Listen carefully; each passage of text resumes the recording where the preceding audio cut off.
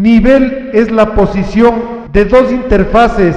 Las interfaces de fluidos pueden ser líquidos y gases, interfaces sólidos y gases e interfaces líquidos no miscibles. El nivel tiene características volumétricas y calidad gravitacional o manométrica. El nivel se define como la posición de la interfase o una medida indirecta del volumen. En este capítulo veremos los principales criterios del nivel y los principales dispositivos para medir nivel con gran precisión, que a veces son arreglos sencillos y otros un tanto complicados. Cada aplicación debe ser seleccionada con mucho criterio para cada caso específico, considerando las necesidades de cada uno. Vamos a estudiar algunos conceptos que son importantes y necesarios para las mediciones de nivel. Recuerde, el nivel tiene un comportamiento volumétrico y manométrico.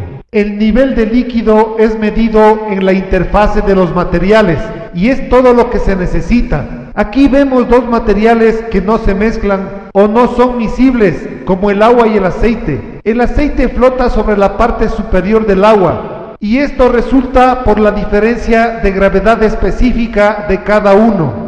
Se necesitan de instrumentos un tanto complejos para determinar la interfase, siempre y cuando ésta sea permanente y fija. Dos sustancias que se mezclan, como estos dos líquidos, no forman una interfase fija y se comportan como mezcla de gases. Podemos observar que las interfaces que se forman son entre líquidos y gases, líquidos con líquidos y líquidos con sólidos. Los sólidos normalmente tienen una interfase con los gases. La medición de nivel se la realiza desde el punto de la interfase hacia algún punto de referencia. Normalmente se lo hace hacia el fondo del recipiente. Esto es muy conveniente porque se puede conocer el nivel y además la cantidad de material que tengo almacenada o disponible en el tanque o recipiente. Por ejemplo, en procesos de bacheo o de mezclas es necesario trasvasar el líquido de un recipiente a otro. Las mediciones de nivel me pueden indicar cuánto de fluido he trasvasado de un recipiente a otro. También me puede ayudar para establecer puntos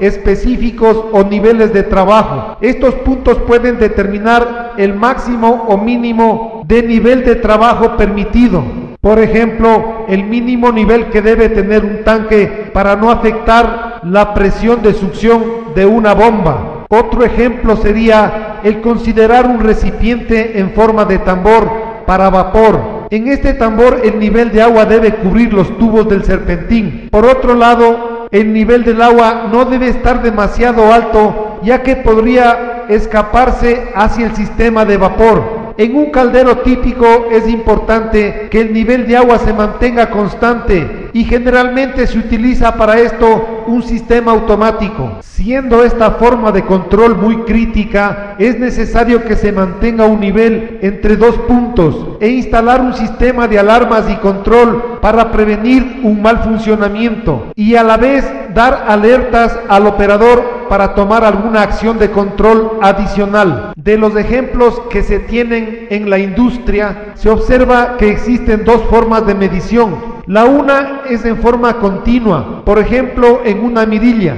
para observar en forma continua el nivel del tanque o recipiente. La otra entre dos puntos de medición, como en el caldero que acabamos de estudiar. En la forma de medición continua se trata de observar en forma continua los cambios de nivel a través de todos los puntos posibles en el span del instrumento.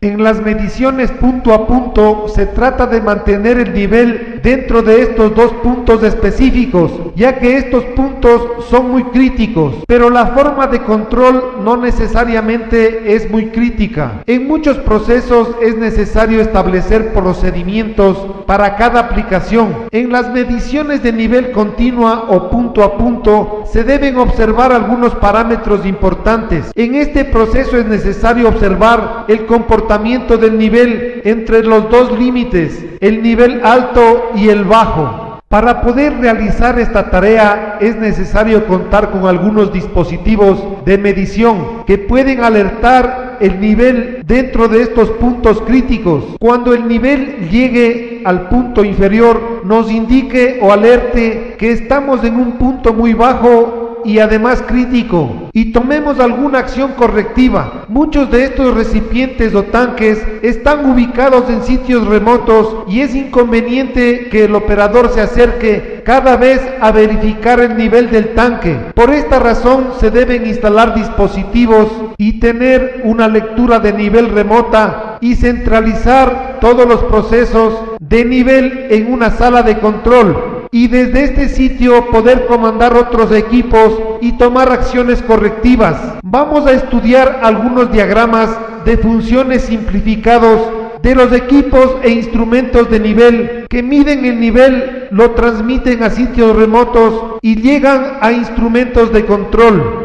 Para seleccionar los instrumentos para las aplicaciones específicas se debe tener en cuenta si la medición debe ser en forma continua o de punto a punto. Además, si la medición es remota o local, si debe tener el criterio de control automático. Otros parámetros que debemos considerar es la composición física y química de los fluidos que monitoreamos, además de considerar la posición de la interfase para instalar los equipos adecuados. Se debe considerar si el fluido tiene partículas de gases o sólidos. En la mirilla se puede observar la interfase directamente y en forma continua. Otro tipo de variable que debemos observar en la instalación de un instrumento es el peso del fluido, la densidad, las propiedades eléctricas, las propiedades térmicas, la absorción de energía que el fluido tiene y podría afectar el buen funcionamiento, la medición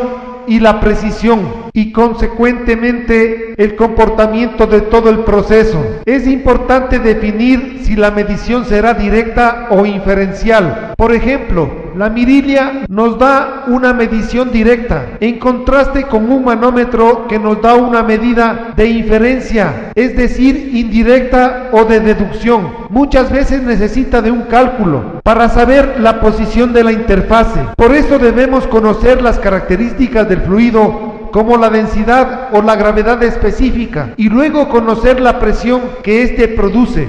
Tanto a través de las mediciones directas o de las inferenciales podemos tener una buena precisión. Solo es cuestión de hacer la instalación más adecuada para las necesidades específicas que se tenga. Las variables de proceso también deben ser tomadas en cuenta, ya que afectan a las mediciones como las propiedades de los materiales, la expansión térmica que afecta a los fluidos, así cuando el fluido se enfría, este se contrae y el volumen se reduce, lo que implica que el nivel en el recipiente baja. Por lo tanto, la temperatura afecta al nivel que presente líquido en el recipiente. Normalmente los instrumentos de nivel, como una mirilla, no son afectados por los cambios de temperatura, sino de manera muy poco significativa. También la temperatura afecta a la densidad y consecuentemente puede afectar a la presión que el líquido ejerce en el manómetro y este en la medición de nivel. Estas variables de proceso no las podemos cambiar, pero sí debemos realizar las compensaciones necesarias para obtener un resultado de nivel satisfactorio. Como hemos visto, se deben definir los objetivos de la medición, es decir, si es directa o inferencial. También se deben tener en cuenta las propiedades de los materiales que vamos a medir y también las variables de proceso, ya que estas tres condiciones pueden afectar de manera significativa a las mediciones de nivel. Por estas razones debemos buscar los instrumentos más adecuados para satisfacer los requerimientos de operación y necesidades de la planta.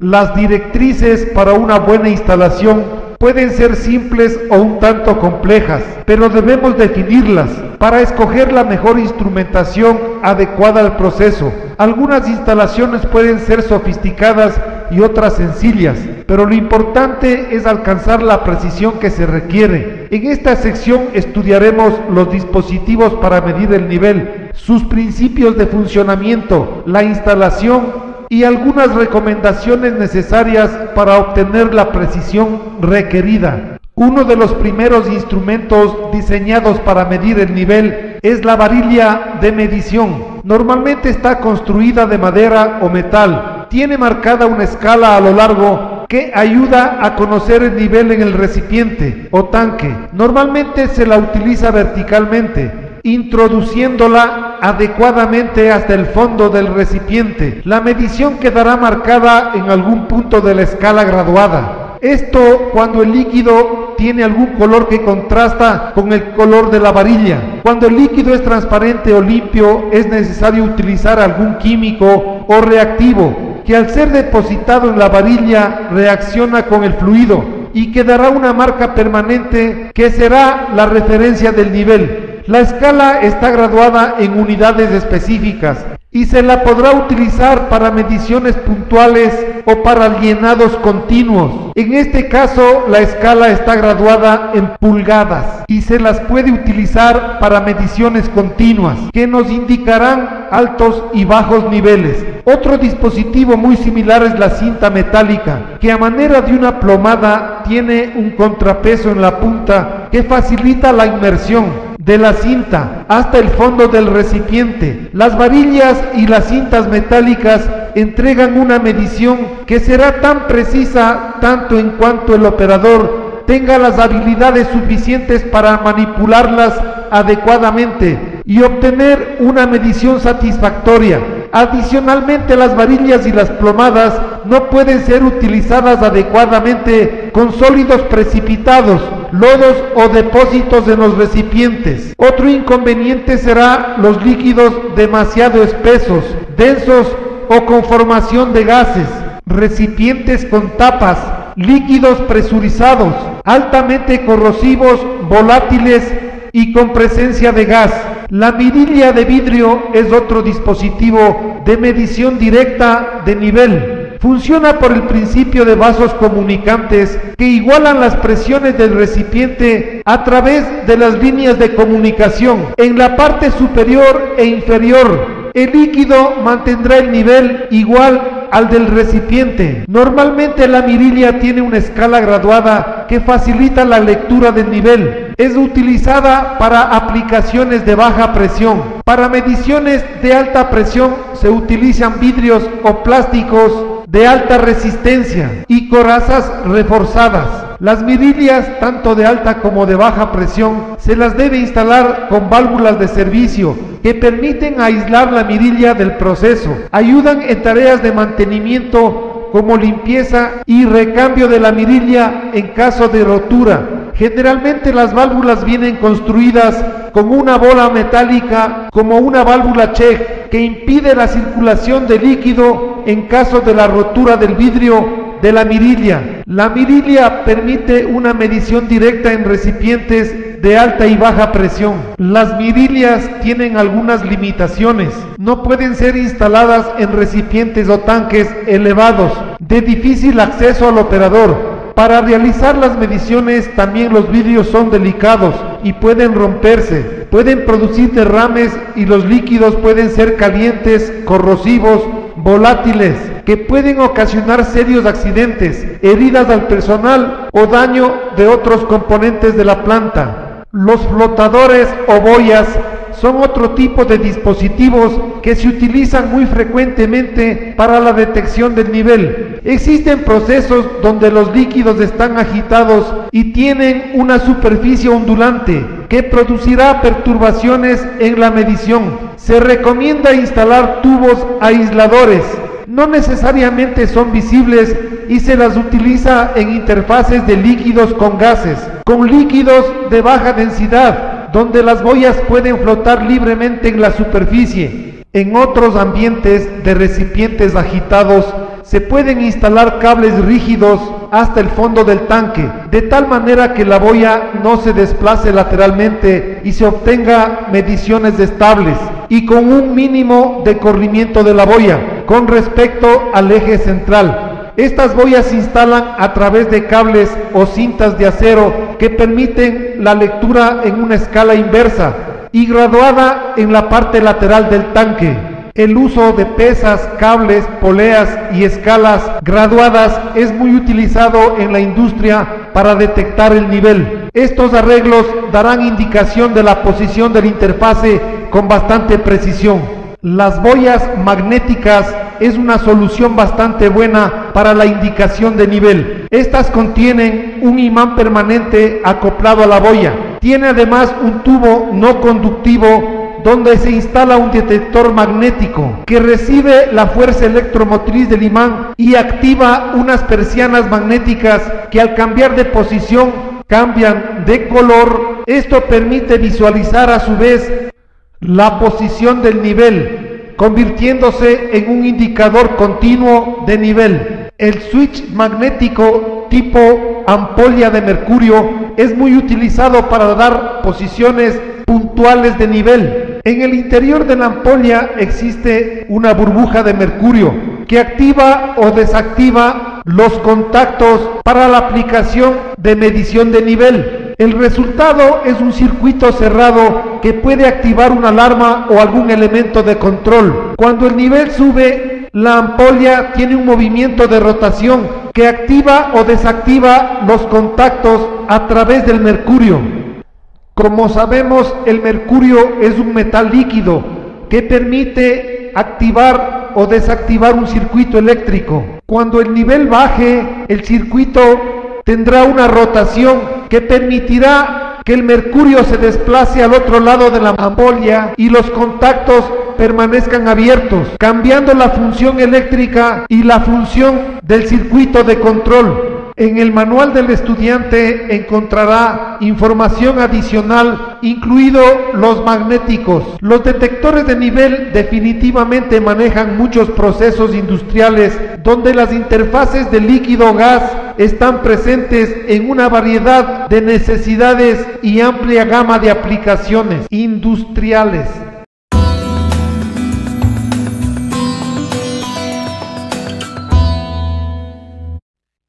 En el segmento anterior estudiamos las boyas acopladas en diferentes arreglos que nos permiten detectar y monitorear el nivel. En este capítulo estudiaremos otro tipo de boyas que al flotar responden a otros principios físicos y tienen otro comportamiento. El dispositivo mostrado es el hidrómetro. Contiene una boya que flota sumergida en el líquido e impulsada por una fuerza conocida como el empuje. Este principio es el de Arquímedes, que es una fuerza que el líquido produce sobre la boya. Y este principio dice, un cuerpo total o parcialmente sumergido en un líquido en reposo recibe un empuje de abajo hacia arriba, igual al peso del volumen del fluido que desaloja. A este efecto se le llama flotabilidad. Si la fuerza de flotabilidad es menor o igual a la fuerza del volumen desalojado, el efecto de flotabilidad hará que la boya flote en la superficie del líquido.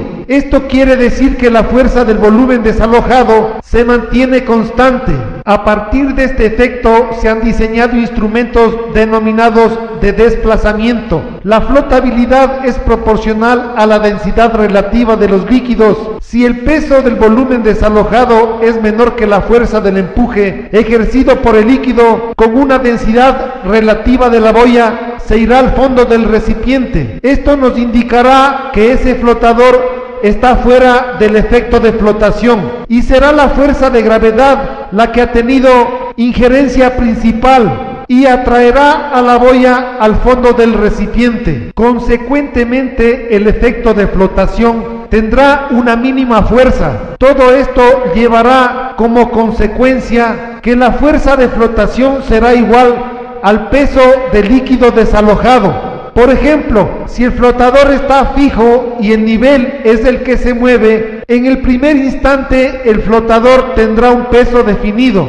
pero si el nivel aumenta, el peso del flotador irá disminuyendo. En caso contrario, si el nivel vuelve a descender, el flotador pesará un poco más. De esto concluimos que el rango del peso del flotador por el efecto de desplazamiento será proporcional al rango del nivel. En contraste, si el flotador permanece en un líquido de densidad constante, el flotador se mantendrá en un punto fijo de flotación. Si el nivel es el que varía, se obtendrá un desplazamiento variable. Para comprender mejor este tipo de desplazamiento, veamos un ejemplo. Si tenemos un arreglo como el de la figura y se mide el peso del flotador y este pesa 5 libras, a medida que el nivel aumenta, se tendrá una reducción del peso por la fuerza del empuje que el líquido ejerce en la superficie del flotador. El peso se reduce a 4 libras. Así como el nivel aumenta y sumerge todo el flotador, el peso irá disminuyendo a un peso como alrededor de 3.5 libras. Como vemos, el peso del flotador es inversamente proporcional al aumento del nivel del líquido. Podemos cambiar la lectura del instrumento de peso en libras a pulgadas lineales y podemos leer directamente el cambio de nivel en cambios proporcionales en altura de nivel. Vamos a estudiar este principio detalladamente. Los instrumentos de nivel como el de la ilustración es exactamente igual a los utilizados en la industria. Las boyas de desplazamiento normalmente son de forma cilíndrica. Están instaladas en el interior de un recipiente o en tubos, en la parte exterior del tanque o recipiente del proceso. En el ejemplo, las boyas de desplazamiento está suspendida y fija por un resorte en el interior del instrumento. La tensión del resorte será proporcional al peso de la boya de desplazamiento. Esta tensión será utilizada para dar una indicación de nivel. Otra variación de los dispositivos de desplazamiento es la utilización de un tubo torque, donde la boya de desplazamiento está sujeta y acoplada a una barra de torsión, de manera que cuando el nivel aumente, la barra de torsión trabajará en un sentido. Cuando el nivel baje, la barra cederá y trabajará en sentido contrario. La boya de desplazamiento está acoplada en un tubo exterior, de manera que el instrumento queda aislado del líquido que contiene el recipiente. La boya de desplazamiento transferirá la fuerza del torque al sistema de medición o a un instrumento de control. Una de las ventajas que se tienen en los equipos de desplazamiento sobre las boyas de flotación es que pueden trabajar en el interfase de líquidos no miscibles, como en separadores de petróleo, recipientes con aplicaciones especiales. Para este caso, el efecto del empuje se obtendrá por la fuerza que ejercen los dos componentes o líquidos.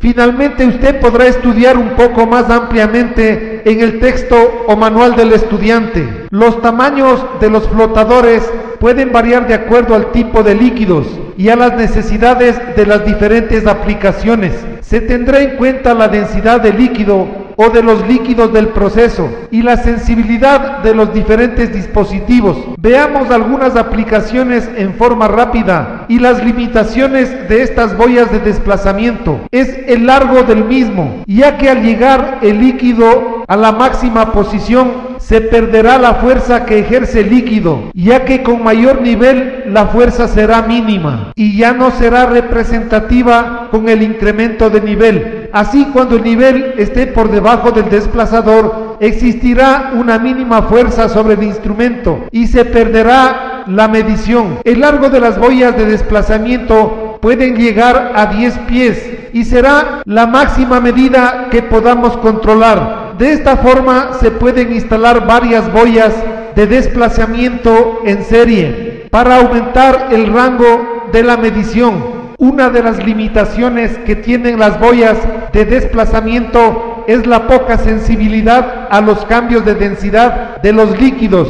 Como dijimos, la fuerza del empuje es proporcional a la densidad del líquido, de manera que al cambiar la densidad en el proceso se pueden cometer errores muy significativos. Cuando trabaje con otro líquido, tenga la precaución de cambiar la boya de desplazamiento.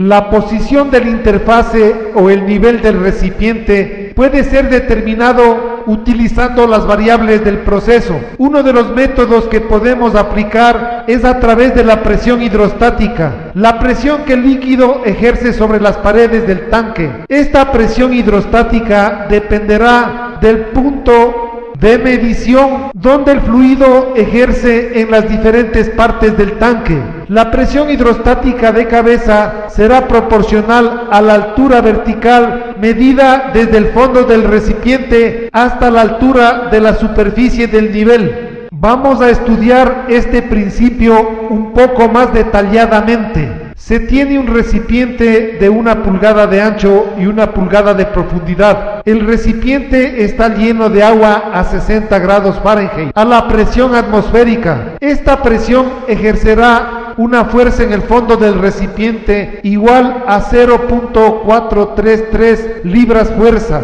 El agua ejercerá una distinta fuerza a lo largo de la altura del tanque. En un punto dado, la fuerza que se ejerce será proporcional a la fuerza que tiene el líquido medido desde el fondo del recipiente en cualquier punto y a la misma altura. Para entender mejor este principio, dividimos el recipiente en 12 puntos de una pulgada cada uno o 12 cubos de una pulgada de lado. La presión es diferente en cada cubo en altura, ya que la fuerza está definida por la densidad de líquido multiplicada por la altura. Por ejemplo, la presión que se tiene en el cubo número 4 será igual a 0.36 multiplicado por 4, esto es 0.144 libras por pulgada cuadrada. Así cada cubo tiene una fuerza distinta, como podemos observar en el gráfico. Si cada cubo ejerce una fuerza de 0.33 libras, los diferentes cubos ejercerán una fuerza según su altura, multiplicada por ese valor. El cálculo se lo puede realizar mediante la fórmula descrita, donde h es la altura medida en pies, que es igual a 2.307, que es un valor de conversión. P es la presión medida y GS es la gravedad específica. El cálculo de la presión ejercida está ampliamente descrita en el manual del estudiante. La medición puede ser calculada para cada tipo de líquido con una gravedad específica definida. Así cada medidor puede ser calibrado en valores de altura directamente. Una de las aplicaciones para la medición del nivel es la presión hidrostática, la misma que conoceremos con la instalación de un manómetro en un punto de nivel mínimo. Veamos tres tipos de dispositivos que utilizan este principio. Estos utilizan un diafragma instalado en una caja que va conectado hacia un manómetro instalado en la parte superior, conectado a través de un capilar. El diafragma, el tubo y la parte interior del manómetro está lleno de gas. La presión hidrostática ejerce una fuerza sobre el diafragma que es elástico. El diafragma permite el paso que ejerce la presión hidrostática hacia el medidor hasta que exista un balance en los dos lados del mecanismo. La presión que se tiene es medida por el manómetro y será igual a la presión estática que ejerce el líquido. Una variación de este mecanismo es el llamado sensor por aire atrapado, que sustituye al diafragma instalado en la caja. Cuando la presión del líquido aumenta, el gas o aire atrapado aumenta también la presión hidrostática hasta que llegue a un equilibrio. Este instrumento se lo utiliza para líquidos o sustancias corrosivas o peligrosas para aislar el instrumento medidor que puede dañar al manómetro de medición. Las burbujas disueltas pueden afectar la precisión. Otra variación para las mediciones de nivel que utiliza el mismo principio es la medición de nivel por burbujeo. Esta medición consiste en un tubo de suministro que utiliza aire que es controlado a través de un regulador. Se conecta a un tubo de profundidad, el mismo que se sumerge hasta el punto mínimo deseado dentro del tanque. Así como la presión aumente, el mecanismo vencerá la presión hidrostática del líquido y se obtendrá un burbujeo Este burbujeo se lo podrá apreciar y observar en el vaso pequeño transparente. Cuando llegue al equilibrio, el regulador nos indicará la presión que será equivalente al nivel del líquido. La presión observada en el manómetro será igual a la presión ejercida por el líquido y dará una presión proporcional a la altura del líquido o al nivel desde el punto inferior del tubo sumergido hasta la interfase del líquido. Esta medición estará bien realizada siempre que se mantenga constante el nivel del líquido, pero si se reduce aumentará la corriente del burbujeo y deberemos realizar alguna corrección. De igual forma, si el nivel del líquido aumenta, el burbujeo original desaparecerá. Se deberá tener cuidado en el diseño para tanques presurizados. Para tanques cerrados se utiliza celdas de diferencia de presión para la medición de tanques cerrados. La celda tiene un lado de alta presión y un lado de baja presión. El punto de alta presión se instala a la toma inferior del tanque. La otra celda se la instala a la parte superior del recipiente y sobre el nivel de la interfase. Aquí podemos observar la construcción típica de una celda de diferencia de presión. El lado de la celda de baja presión irá conectado al pórtico de baja presión del sistema y la celda de alta presión irá conectada al pórtico de alta presión del sistema. Así la celda de alta presión medirá la presión del recipiente más la presión del líquido.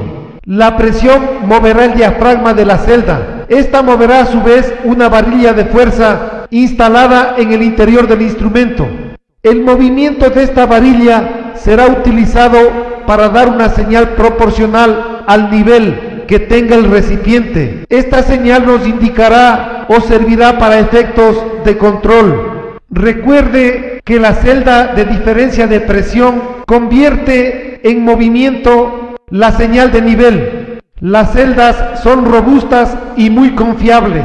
Un problema que puede presentarse en las celdas de medición por diferencia de presión es que el tubo de baja presión se llene de líquido por condensado y ejerza una presión estática de cabeza adicional y distorsionará la medición. Una solución que se tiene es el llenado completo del tubo de baja presión. Con el llenado permanente de la celda se mantiene un punto de medición constante. En este caso se deberá realizar algunas compensaciones en el instrumento. Muchas veces es conveniente cambiar la posición de las celdas y utilizar la de alta presión hacia el lado de tubo lleno y el de baja presión hacia el líquido de la medición. Otra solución es hacer una compensación de cero por elevación o cero elevado. Una buena manera de no utilizar el pie mojado es utilizar un relé con relación uno a uno o relé de repetición. Este funciona así. Se tiene un suministro de aire que sirve para operar el relé con un diafragma instalado que aísla al relé del fluido del proceso. Cuando el diafragma aumenta la presión, el relé permite el paso del aire hacia el pie de la celda de baja presión y mantiene una presión igual a la del tanque. Cuando la presión del diafragma baja, esta condición es transmitida al relé y este elimina la presión de aire del pie de la celda y vuelve a equilibrarse la presión la presión será nuevamente igual a la del tanque. Cuando se tienen líquidos peligrosos, viscosos, corrosivos, se puede utilizar el diafragma para aislar la celda del fluido que puede ser corrosivo. Por esta razón, el diafragma debe ser resistente a la corrosión en el lado de alta presión. El lado de alta presión debe ser instalado a través de una brida de acople al tanque. Estos diafragmas aíslan a la celda de los sólidos que pueden depositarse en el fondo del tanque, afectando consecuentemente a la celda. En muchas aplicaciones, la celda debe ser instalada por debajo del punto de medición del spam. En este caso, se deben realizar compensaciones en el cero, en el spam del instrumento. Esto es algo similar a la compensación de cero de un instrumento instalado por debajo del tanque o recipiente. En este caso se debe suprimir la magnitud del cero en el ajuste de cero del instrumento. Las mediciones de nivel utilizadas a través de la presión hidrostática tiene un sinnúmero de aplicaciones, en especial para fluidos con interfaces de líquidos, gases, pero como vimos están afectados por la densidad que pueden tener las diferentes sustancias. Por esta razón se debe monitorear continuamente la densidad de los fluidos a medirse y compensarla en casos de que este cambio de densidad haya sido detectado.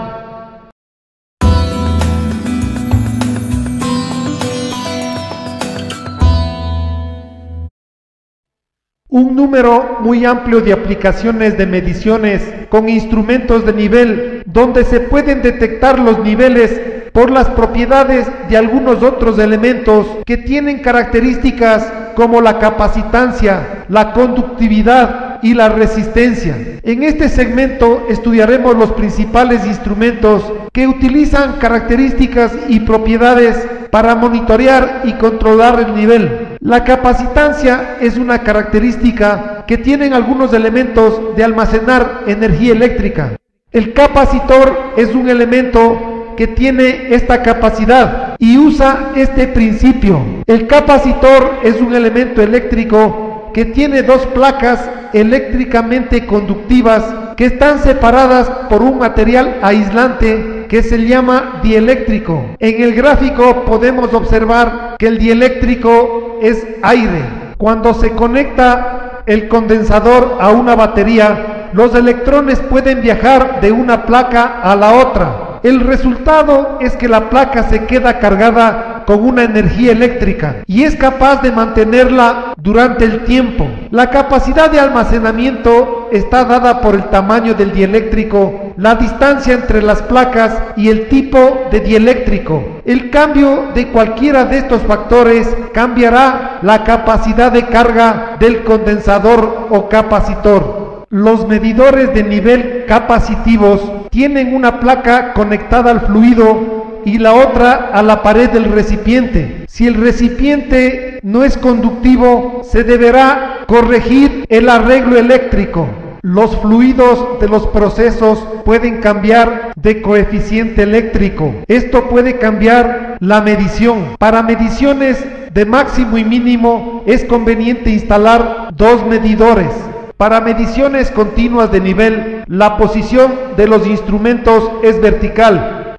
El span del nivel será tan largo como el largo del electrodo. Así el nivel cambia, también cambia la capacidad del condensador y los cambios de nivel serán proporcionales a los cambios totales de la capacidad a todo lo largo del span que permita el medidor, la constante eléctrica de los fluidos también puede cambiar y esto obligará a hacer compensaciones, ya que también cambian con la temperatura. Cuando se utiliza detectores de nivel capacitivos, los cambios de temperatura deben ser compensados. Es obvio que una sobrecompensación afectará la medición. Un problema adicional que se debe tener en cuenta es que los líquidos sean limpios, ya que las incrustaciones podían afectar al medidor y consecuentemente la medición. Al no tener partes móviles, el mantenimiento es sencillo. Se debe observar también que los fluidos no tengan sólidos,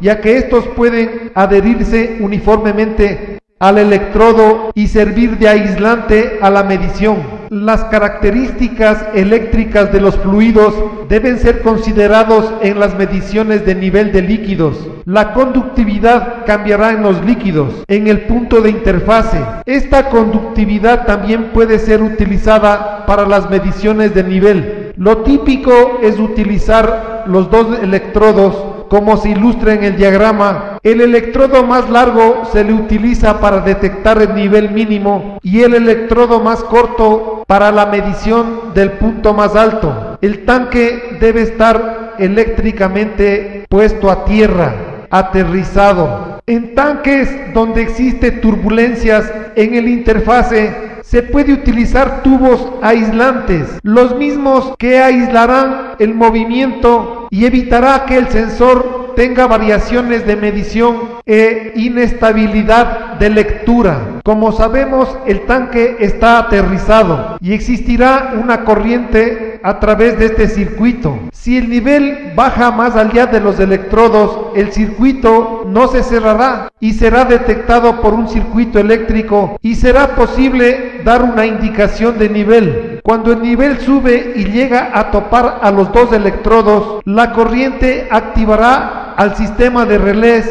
y se podrá dar una indicación, alarma o control en la medición de nivel. Los detectores de nivel capacitivos tienen limitaciones con fluidos peligrosos o explosivos. Los sensores de nivel por conductividad son muy ampliamente utilizados con procesos de aguas crudas, agua potable, líquidos conductivos, detectores de interfase de agua salada, aceites e hidrocarburos. Este tipo de instrumentos son muy robustos y dan buena precisión. Se debe tener cuidado de las incrustaciones que pueden aislar o alterar la medición. Cuando las aplicaciones de medición de nivel están un poco complicadas con dispositivos capacitivos, se debe buscar otra alternativa. Otro tipo de detector de nivel que también utiliza la corriente eléctrica son aquellos que tienen materiales eléctricos conductivos. Este dispositivo consiste en una platina metálica donde se asienta total o parcialmente otra resistencia que tiene la forma de una espira. Las dos partes del mecanismo están envueltas en una funda plástica, la misma que aísla al mecanismo del fluido del proceso. La platina está conectada a una fuente de bajo voltaje que entrega una corriente que pasa por el mecanismo de resistencias y nos da una lectura inicial. Así como el nivel aumenta, la funda se contrae y las espiras de la resistencia se juntan y producen un cambio de corriente que al aumentar es detectada por un sistema electrónico que entregará a su vez una señal proporcional al aumento de nivel. Consecuentemente, los cambios de nivel darán un movimiento a un arreglo de una resistencia y un circuito eléctrico que al producir un cambio de corriente producirán un cambio proporcional al nivel medido. Se debe tener cuidado al utilizar la funda plástica que la parte superior esté siempre venteada para evitar presurizaciones internas que puedan afectar la medición y consecuentemente la precisión. Procure mantenerlo siempre limpio y seco. Los detectores de nivel de resistencia se los puede utilizar para medir interfaces de líquidos con gases pueden trabajar con líquidos densos, espesos, que contengan sólidos. Estos medidores tienen pocas partes móviles y requieren un mínimo de mantenimiento. Estos son algunos de los dispositivos de medición de nivel eléctrico utilizados en muchas industrias. ¿Existe alguna información adicional en el texto del estudiante?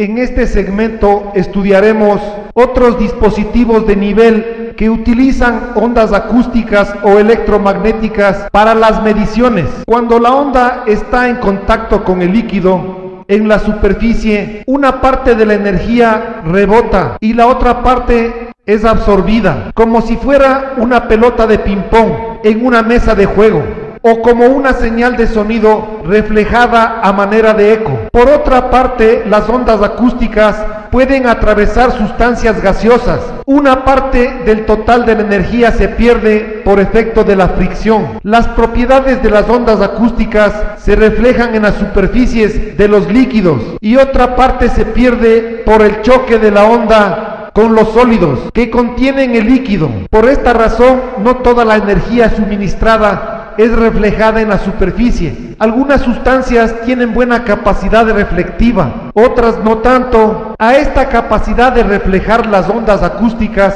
se la denomina medio vivo y a los gases y líquidos que no tienen esta capacidad de reflejar en el aire o ciertos líquidos se los denomina medio muerto o medio inerte. Esta capacidad de reflejo o grado de reflejar de algunos elementos líquidos o sólidos pueden de manera precisa ser utilizados para realizar mediciones de características de reflejo sónico. La característica de reflejo sónico depende de la densidad del fluido y de las características de la superficie. Debido a las características del reflejo sónico, se pueden realizar mediciones en la interfase entre líquidos y gases, líquidos con líquidos y sólidos con gases. Algunos de estos equipos están diseñados con características de ultrasonido, que consta de un generador de ultrasonido y un receptor. Trabajan a frecuencias de 25.000 ciclos por segundo. Estos dispositivos pueden realizar mediciones continuas o puntuales, usando diseños con transmisores y receptores de ultrafrecuencia. Los transmisores de ultrasonido producen una señal vibratoria producida por cristales o bobinas en circuitos resonantes que va desde un lado del tanque hacia el otro. Al otro lado del tanque está instalado el receptor. Cuando el nivel del recipiente está por debajo del transmisor y receptor, casi toda la energía generada en el transmisor es recibida en el receptor y una parte se refleja. Cuando el nivel de líquido aumenta, gran parte de la energía generada se pierde en el medio del líquido y la energía perdida ya no se refleja, se pierde por absorción. Esta característica de pérdida de energía reflejada nos dará una indicación de la posición de la interfase. La transición que se tiene del comportamiento de la pérdida de energía es transmitida a un amplificador, el mismo que servirá para generar señales de medición, alarma o control de las condiciones del nivel. La instalación de dos transmisores y dos receptores permitirá monitorear el tanque en los puntos de alto y bajo nivel. Recuerde que los instrumentos deben ser instalados y fuertemente apretados para evitar situaciones parásitas que puedan afectar a la medición. En muchas aplicaciones el transmisor y receptor están instalados en un lado del tanque. Estos dispositivos están construidos de una sola unidad, la que contiene el transmisor y el receptor instalado en un solo arreglo.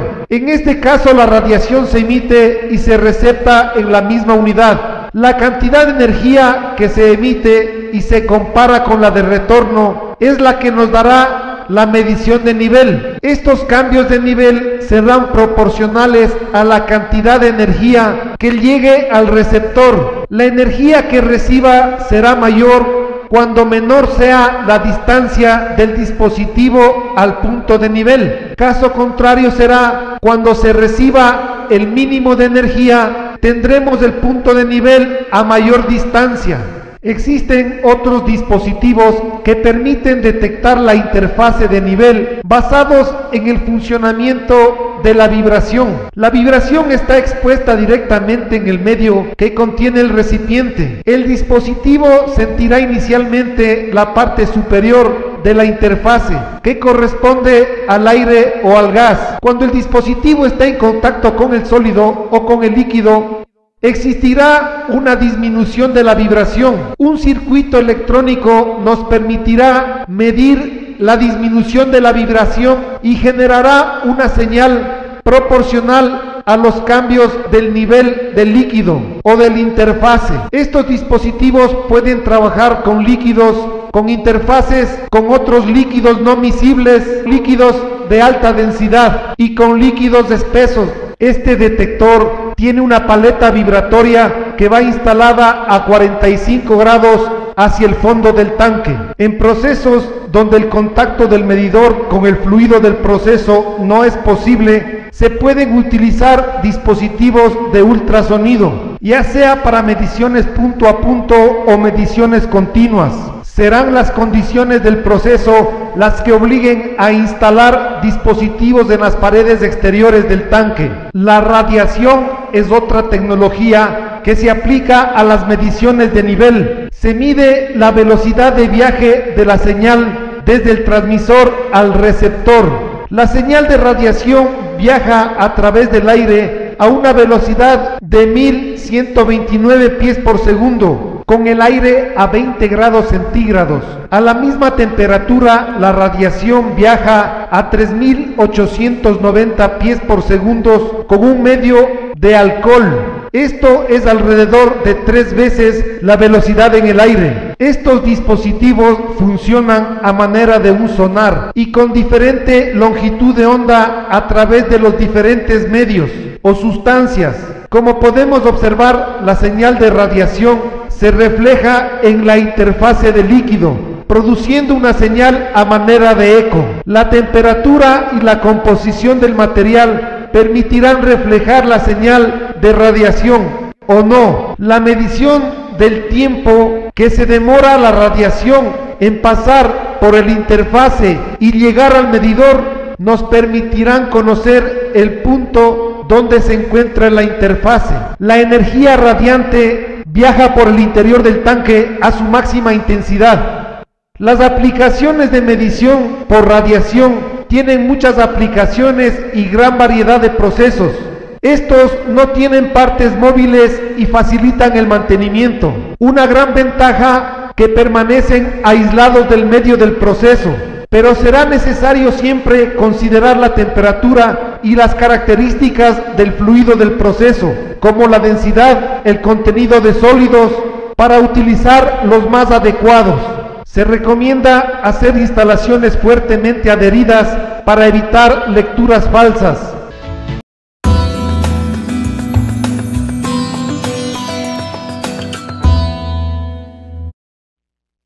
Hemos estudiado los diferentes tipos de instrumentos de medición de nivel y sus diferentes aplicaciones en algunos procesos industriales. También hemos visto el comportamiento y las características propias, las diferentes tecnologías, las alternativas que podemos utilizar y tener mediciones satisfactorias. En esta sección estudiaremos algunas otras alternativas no muy usuales para medición de niveles de sólidos, una alternativa es instalar el instrumento en el punto deseado. Este equipo utiliza aletas conectadas a un motor de baja velocidad y bajo torque que trabaja alrededor de 10 revoluciones por minuto. Estos dispositivos cuando están en contacto con el aire o el recipiente vacío, el motor continúa rotando a la velocidad de 10 revoluciones por minuto. Cuando el nivel aumenta, los sólidos entran en contacto con las paletas y disminuye la velocidad deteniendo al motor. Cuando este se detiene, el torque aumenta y la corriente del circuito nos servirá para indicar la posición del nivel. Puede accionar un relé, el mismo que dará la indicación del punto de nivel. Se puede además monitorear el nivel o tomar acciones de control. Para optimizar el sistema de control se pueden instalar dos o más sensores a lo largo del recipiente. Otro dispositivo que trabaja con el mismo principio de detección electromecánica muy utilizado para detectar interfaces líquidos con gases. Este utiliza una paleta vibratoria adicional que trabaja a través de un circuito electrónico oscilante y utiliza una bobina de fuerza para mover la paleta. Con el aumento de nivel y al sumergirse la paleta, esta cambiará la frecuencia de vibración, la misma que será detectada por el circuito de control y entregará una señal para indicación, alarma o control. Los cambios de temperatura también pueden ser utilizados para detectar, indicar o controlar los niveles. Tanto las termocuplas como las termoresistencias pueden detectar la temperatura del nivel o de los gases en estado líquido. El dispositivo más comúnmente utilizado para esta aplicación son los termistores. Se los instala en el termopozo para aislarlo del fluido. Una vez que el nivel entre en contacto con el termistor, la temperatura hará que el termistor trabaje y me podrá dar la indicación de nivel. El termistor tiene un coeficiente eléctrico negativo que al aumentar la temperatura disminuye el coeficiente eléctrico del termistor. Este entregará una alta salida que permitirá detectar el nivel. es muy utilizado para mediciones de gas licuado de petróleo. La radiación es otra tecnología que se utiliza para detectar el nivel en recipientes o tanques. El sistema consiste en un generador de radiación y un receptor, los mismos que van instalados en lados opuestos del tanque. La magnitud de la radiación debe ser tal que sea suficiente para penetrar las paredes del tanque, atravesar el fluido y llegar al receptor. La energía será mayor en el receptor cuando el tanque esté vacío y las paredes del tanque sean las más delgadas posibles. Las paredes del tanque y el fluido del proceso absorberán parte de la energía. Se pueden utilizar dos detectores para ampliar la cobertura de la medición, es decir, poder medir tanques de mayor altura. Las pérdidas de energía del generador hacia el receptor serán los indicadores de manejo del nivel. Tenga en cuenta que la radiación puede ser absorbida por el fluido del proceso. Se puede usar esta tecnología con fluidos espesos, con alta densidad o baja viscosidad, donde otros tipos de dispositivos de radiación como sonares no pueden ser utilizados y con tecnologías convencionales podrían ser peligrosos. En recipientes de altas presiones o donde es difícil penetrar y pasar las paredes del recipiente o tanque, es muy conveniente utilizar la tecnología de radiación. La radiación también puede penetrar en forma fácil al grupo humano. Para manejarla, tenga mucho cuidado y extreme las precauciones. Las mediciones de nivel tipo inferencia o deductivas son muy utilizadas en todo tipo de procesos con fluidos ligeros, densos, espesos, con interfaces agitadas, alta o baja viscosidad, al igual que alta o baja gravedad específica. Se las utiliza donde el proceso es duro, con interfaces turbulentas, donde las interfaces son difíciles de detectar con otras tecnologías. Esto sería lo que es detección por inferencia. Otra tecnología, la llamada por medición por estiramiento, es una tecnología que realiza la medición en base del peso del recipiente. Se inicia la calibración o el aforo cuando está lleno. En este caso se deben conocer la gravedad específica del fluido y el peso del recipiente. Se puede utilizar para un solo tipo de fluidos o fluidos combinados en diferentes recipientes. En las mediciones por peso se debe mantener el fluido en nivel constante. Es conveniente además mantener constante la gravedad específica, el volumen y la temperatura.